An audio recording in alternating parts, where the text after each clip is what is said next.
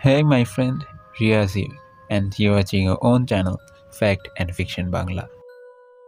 এটা তো নিশ্চয়ই জানেন যে প্রায় সিক্সটি ফাইভ মিলিয়ন ইয়ার্স আগে একটি অ্যাস্টেরয়েড যার নাম দেখা যাচ্ছে চিক্সেলোপ সেটা পৃথিবীতে এসে ধাক্কা মারে যার ফলে ডাইনোসরের পুরো প্রজাতি পৃথিবী থেকে নিশ্চিহ্ন হয়ে যায় তখন আমাদের পূর্বপুরুষেরা অর্থাৎ ম্যামলসরা বেঁচে গিয়েছিল কারণ তারা তখন মাটির নিচে বসবাস করত বাট এখন সিনারিও পুরো পাল্টে গিয়েছে। আমরা এখন পৃথিবীর উপরের পৃষ্ঠে বসবাস করি। এখন যদি এরকম একটা অ্যাস্টেরয়েড পৃথিবীতে এসে পড়ে, তাহলে কি হবে নিশ্চয়ই বুঝতেই পারছেন। সায়েন্টিস্টদের ধারণা হলো, তেইশ এপ্রিল দু হাজার উনত্রিশ সালে একটি অ্যাস্টেরয়েড যার নাম অ্যাপোফিস সেটা পৃথিবীর খুব কাছ দিয়ে পাস করবে। অ্যান্ড চান্সেস আর সেটা পৃথিবীর কোনো না কোনো অংশের সাথে ধাক্কাও খেতে পারে। তাহলে এখানে আমরা কি করতে পারি? প্রশ্নটা যদি করা হতো তেইশ সেপ্টেম্বর দুই হাজার বাইশের আগে, তাহলে বলতাম আমাদের এটা চেয়ে চেয়ে দেখা ছাড়া আর কিছু করার নেই। বাট তেইশ সেপ্টেম্বরের পর থেকে আমাদের কাছে এমন টেকনোলজি রয়েছে যে আমরা পৃথিবীর দিকে থাকা অ্যাস্ট্রয়েডদেরকে আটকে ফেলতে পারি। তেইশ সেপ্টেম্বর নাসা সফলভাবে তাদের ডার্ট মিশন অর্থাৎ ডাবল অ্যাস্ট্রয়েড রিডাইরেকশন টেস্ট সম্পন্ন করে। যাতে তারা তাদের পরিকল্পনা মতো একটি অ্যাস্ট্রয়েডের গতিপথ পরিবর্তন করতে সফল হয়েছে। এই প্রযুক্তি ভবিষ্যতে পৃথিবীকে অনেক বিপদ থেকে রক্ষা করবে। But as you can guess এটা করা একদমই সহজ ছিল না। কারণ মানব ইতিহাসে এর আগে কখনোই এমন কিছু করা হয়নি। এর পেছনে রয়েছে অনেক সূক্ষ্ম ক্যালকুলেশনস এবং কয়েকশো সায়েন্টিস্টদের পরিশ্রম। চলুন দেখে আসা যাক কীভাবে একটি অ্যাস্ট্রয়েডের গতিপথ পরিবর্তন করে দেওয়া হলো?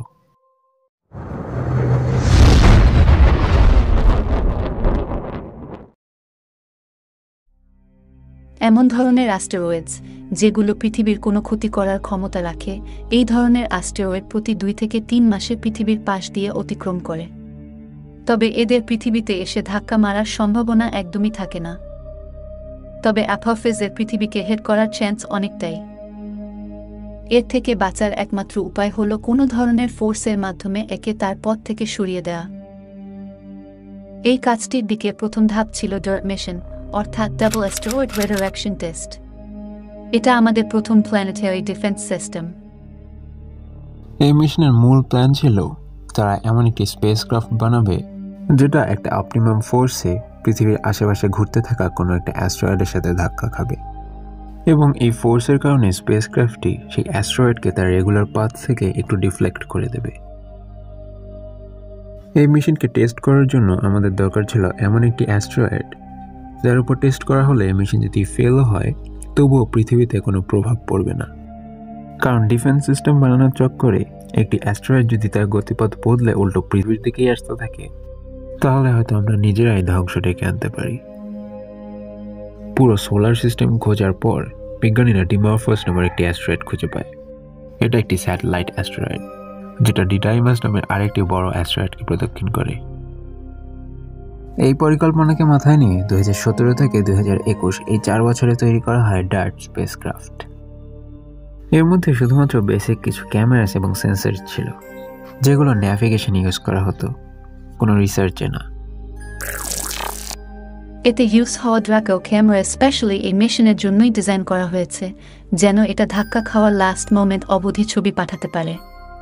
তাই এর সেন্সিটিভিটি এবং ইম্প্যাক্ট সামলানোর ক্ষমতার উপর বিশেষ নজর দেওয়া হয়েছে। আর একটা জিনিস তো জানা, যে অ্যাস্টেরয়েডটির সাথে ধাক্কা খাওয়ার পর মেইন স্পেসক্রাফটটি অবজারভেশন করার অবস্থাতেই থাকবে না। আর সেটা কলেশনের এক্সাক্ট ফুটেজেসকেও ডেলিভার করতে পারবে না। এ কারণে ইটালিয়ান স্পেস এজেন্সির তৈরি লিসিয়া কিউবকে এই স্পেস ক্রাফটের সাথে পাঠানো হয়েছে, যেটা ধাক্কা খাওয়ার কয়েকদিন আগে স্পেস ক্রাফট থেকে আলাদা হয়ে অবজার্ভার এঙ্গল থেকে ছবি পাঠাবে। হিউম্যান হিস্ট্রিতে এমন কিছু তৈরি না করা হলেও মাত্র চার বছরের মধ্যে এর কাজ সফলভাবে শেষ করা হয়। বত্রিশ দশমিক চার পাঁচ কোটি ইউএস ডলার খরচে তৈরি স্পেস ক্রাফটটিকে লঞ্চ করা হয় চব্বিশ নভেম্বর দুই হাজার একুশে। এগারো অক্টোবর দুই হাজার বাইশে এটা ডেমোফসকে হিট করে এবং একে এর ট্রেজাক্টরি থেকে কিছুটা সরিয়ে দেয়। এর মাধ্যমে আমরা অ্যাস্টেরয়েড থেকে বাঁচার প্রথম ধাপ পার করে নিয়েছি। হয়তো আপনি ভাবতে পারেন, এত ঝামেলার কি দরকার? আমরা তো চাইলেই এর ওপর নিউক্লিয় বম্ব মারতে পারি।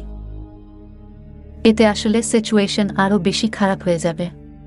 কোনো অ্যাস্টেরয়েডে নিয়োগ করা হলে অনেক বেশি চান্স যে সেটা টুকরো টুকরো হয়ে যাবে। এটা আরও খারাপ খবর, কারণ এই টুকরোগুলো পৃথিবীর বিভিন্ন জায়গায় পড়বে।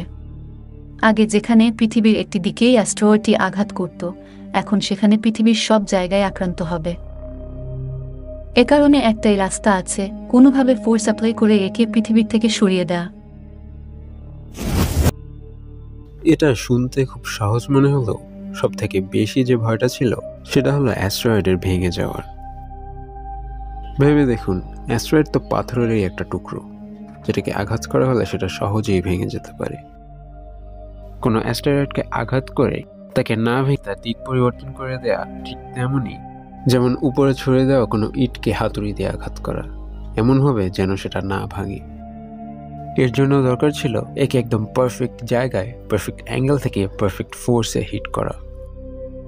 স্পেসক্রাফটের ফোর্স যদি দরকারের থেকে কম হয় তবে স্পেসক্রাফটটি ভেঙে যাবে, অথচ অ্যাস্ট্রয়েডটির কিছুই হবে না। আর স্পেসক্রাফটের ফোর্স যদি সামান্য বেশি হয়, তাহলে অ্যাস্ট্রয়েডটি ভেঙে যাবে। In both cases mission failed এই সব কিছুকেই একদম পারফেকশন এবং প্রিসিশনের সাথে করতে হতো। এই টেকনোলজিকে আরও উন্নত করার কাজ চলছে, যাতে চিক্সেল অ্যাস্ট্রয়েডের মতো বিশাল অ্যাস্ট্রয়েডকে আটকানো যায়। এটা এমন একটা প্রযুক্তি যেটা পৃথিবী এবং মানব সভ্যতাকে বিলুপ্তির হাত থেকে বাঁচাতে পারে।